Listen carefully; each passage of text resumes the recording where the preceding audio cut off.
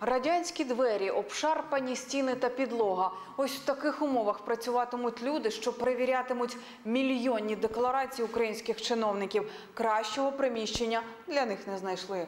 А це коридори Національного агентства з питань запобігання корупції. Тут кипить робота. Працівники агентства обладнують свої робочі кабінети, носять меблі, прибирають. Попри це, сьогодні вже оголосили офіційний старт електронного декларування. Ми активізували дану систему, і це для нас було велике свято. Від сьогодні протягом наступних 60 днів високопосадовці мають заповнити електронні декларації про своє майно. Декларанти подають, а система приймає ці декларації, вона їх зберігає і е, фізично оприлюднює. У них є два місяці для того, щоб подати декларації. Мова зараз йде про високопосадовців.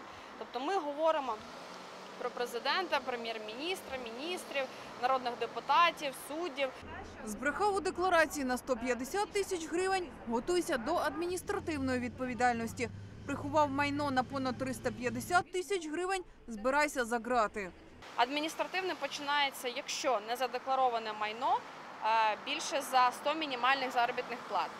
Е, А кримінальна відповідальність починається, якщо не задеклароване майно більше 250 мінімальних заробітних плат.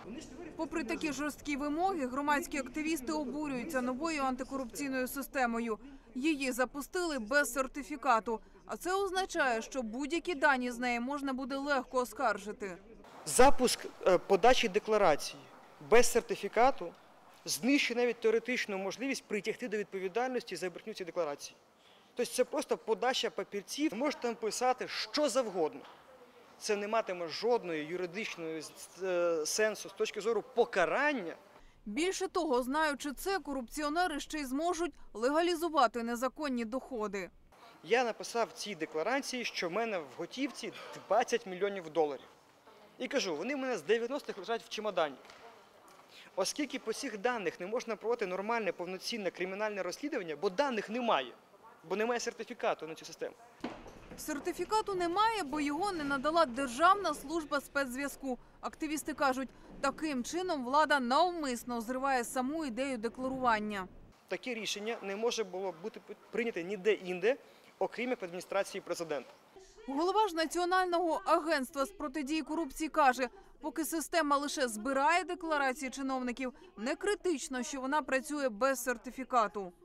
Система електронного декларування в тому вигляді, в якому вона запущена, вона має право на існування. Коли ж перейдуть до аналізу зібраних даних, обіцяють виконати всі необхідні формальності.